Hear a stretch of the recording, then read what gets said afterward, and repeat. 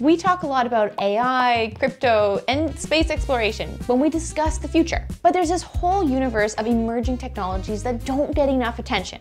Technologies that could fundamentally reshape our world in the next decade. And that's exactly what we are going to talk about today. We are going to go through some of the emerging, the top emerging technologies over the next decade that will change, well, everything. And I'm not going to just tell you about them. I want to show you exactly how they work and even more importantly, why they matter. Before we get into it, you know the drill. Make sure to hit that subscribe button for more tech, future tech, coding, STEM, all things tech, really, videos, and leave in the comments other topics you want me to cover. All right, now let's get into it. I kind of look like a watermelon today. I, I mean, I guess it's summer months, so it's suitable. Okay, now here we go. Coming in at number one is bioconvergence. So what happens when you take biology, engineering, computer science, and other disciplines and mash them all together?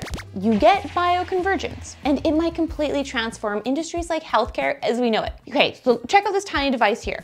It is called an organ on a chip, and it mimics the function of human organs for testing drugs and treatments without animal testing. It's essentially recreating human biology outside the body which allows researchers to develop personalized treatments with unprecedented precision. And this industry, global organ on a chip, I know it sounds wild, is projected to reach 209 million by 2026. That's like seven months from now. Companies like Emulate Bio and CN Bio are already using this technology to improve drug discovery and reduce reliance on animal testing. But bioconvergence goes beyond just medicine. It's helping create new food sources through alternative proteins. I mean, think lab-grown meat and fermented dairy, even sustainable biofuels. The alternative protein market is actually expected to reach 209 billion by 2035, I think it is. Which really think about this way. We're teaching biology to do engineering and engineering to work with biology. And that convergence is going to touch everything from how we treat disease to how we feed ourselves and power our homes. And we're talking about this subject in the world of tech because it is all fueled and powered by technology. And I knew when I was making this video, I, I started with a list that was very obvious. It was very much like AI is gonna change our future, uh, you know, uh, every, like crypto is gonna change our future, things that we are so familiar with. And I thought, you know what? I really want to make a video where we're diving into these specific technologies, specific changes that are going to have a huge impact on our future. So if you are watching this and you are someone who's like, you know what? I want to find a very niche area that I can grow into, maybe make lots of money, have a great career into. These, all these ones we're going through, I would say are areas to look into. But then on the flip side, if you're not interested in, you know, career or money, you just want really interesting technology, these are some of the top emerging and most interesting, fascinating technologies that are changing and impacting our lives, which is really exciting. Okay, let's get to tech number two. Tech number two is neuromorphic computing. Our brains are remarkable. I mean, they process massive amounts of information while using about as much energy as a light bulb. Fun fact, by the way. But our computers, they're not so energy efficient. This is why neuromorphic computing is so fascinating. Instead of processing information like typical computers, neuromorphic chips process information like this. We're essentially building computing systems that mimic the neural structure of the human brain. They're more efficient, can learn on their own, and use a fraction of the energy of traditional computing systems. Take Intel's neuromorphic chip. It is 10 times faster than conventional CPUs at certain tasks, which is wild. I didn't even really know about these chips until I started researching them. Another is IBM's True North chip, which contains 1 million artificial neurons while consuming just 70 milliwatts of power. Tons of artificial neurons while just using such little power. That's incredible. And the implications are huge. Robots that can navigate complex environments and really act or feel like human movements, sensors that can interpret real data, data in real time with minimal power, AI models that don't need huge energy, intensive data centers to function, anything like that. So it's not just faster computing, it's fundamentally different computing. So this brings us to tech number three, spintronics. So here's a question for you. What if we could use not just the charge of electrons, but also their spin to store and process data? That's spintronics spintronics. And it matters because every device you use relies on moving electrical charges, which generates heat and consumes energy. But electron spin, that can be manipulated with almost no energy loss. The spintronics market is expected to reach 25 billion by 2028. Scientists have already developed spintronic memory MRAM is what it's called, that is a thousand times faster than conventional storage with lower power consumption. So these spintronic devices could be 10 times more energy efficient while processing data faster than anything we have today. It's essentially like adding a whole new dimension to electronics. That could mean computers that are faster, smaller, and use way less power. Coming in at number four is one that I haven't heard about until I started doing, or hadn't heard about until I started doing a lot of research, which is Atomtronics. Okay, this is where, in my opinion, things get pretty wild. So Atomtronics uses supercooled atoms, we're talking nearly absolute zero, to create circuits function similar to electronics, but with atoms instead of electronics. So these Atomtronic sensors could be a thousand times more sensitive than current technology. But you can think of it like this. If traditional electronics is like driving on a highway with traffic and stoplights, Atomtronics is like having your own private quantum expressway. This precision is unmatched, and the potential applications, especially in quantum computing, which you know I'm very fascinated about, could be revolutionary. Coming in at number five is optical computing. Okay, so we already use light to transmit data through fiber optic cables. We all know that. But what if computers could actually process information using light instead of electricity? That's optical computing, and it could be revolutionary for a few reasons. One, light moves faster than electricity.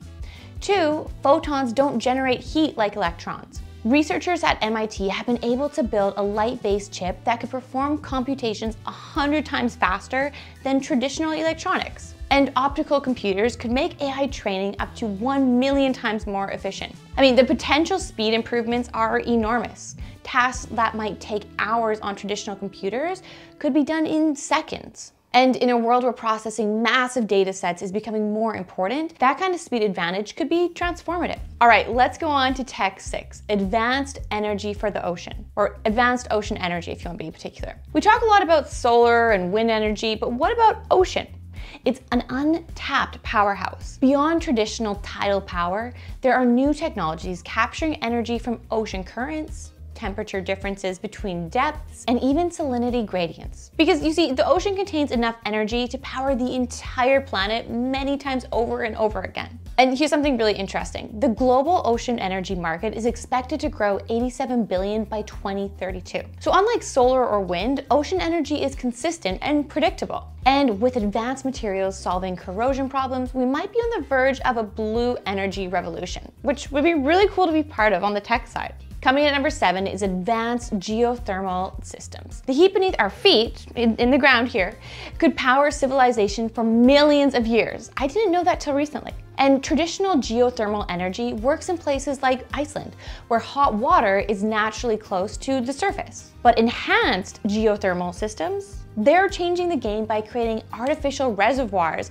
deep underground anywhere on Earth. These systems could provide enough clean energy in the US by 2050 that could power millions of homes. And there's companies like Fervo Energy that are already providing the concept, drilling geothermal wells that use hydraulic fracturing techniques to similar how they do it with oil and gas, which is pretty cool. Check that out the company. Imagine clean, constant energy available virtually anywhere, running 24-7 regardless of weather conditions.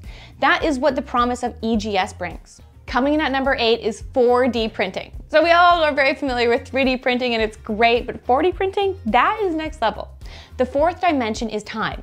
These materials can transform themselves after being printed, changing shape, properties, function in response to temperature, moisture, or other triggers, which is fascinating to me. The 4D printing market is projected to grow by 1.5 billion by 2030.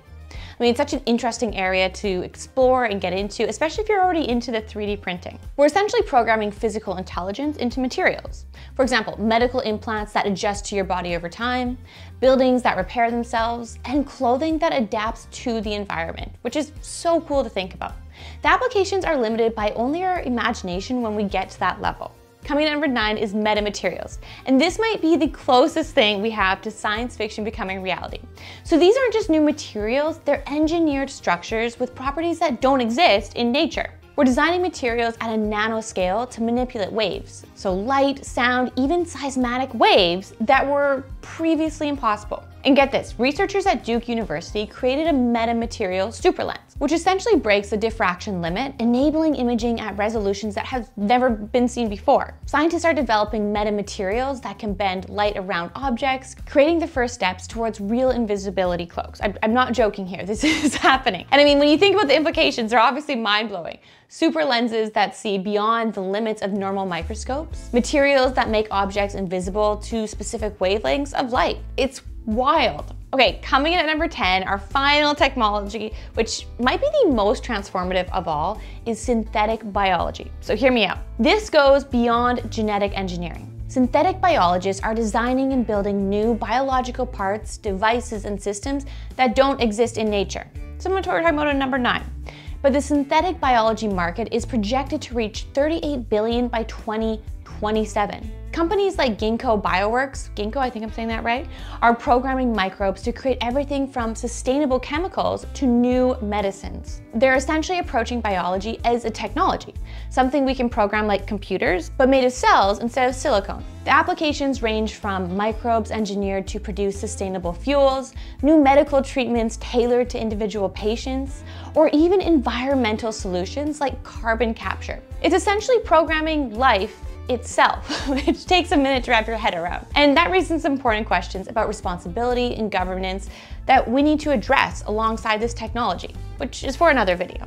These 10 technologies, though, represent just a snapshot of what's coming in the next decade. And isn't it exciting that we are going to be part of that? And while each is fascinating in its own, what's most exciting is how they'll interact and build upon each other. I mean, when you think about bioconvergence that we spoke about, it's powered by neuromorphic computing. Metamaterials are fabricated through 4D printing. Synthetic biology can be optimized by optical computing. And this brings me to I think honestly it's the most important point. The future isn't something that just happens to us. It's something that we create decision by decision, investment by investment, or innovation by innovation. I know, I'm getting deep here. so as we think about these emerging technologies, let's consider not just what's possible, but also what's desirable, what can help us, what can help humanity. And really think about what kind of future do you want to build? Whoa, Tiff, you got really deep there at the end. But it's true, and it's so exciting to start thinking about. All right, I need to go get a coffee or something here. That was super exciting. I need to sit and digest all this information. I've linked some of these resources that I'm referencing down below so you can read more about them as well. And make sure to hit that subscribe button. I'll see you all soon. Thanks everyone.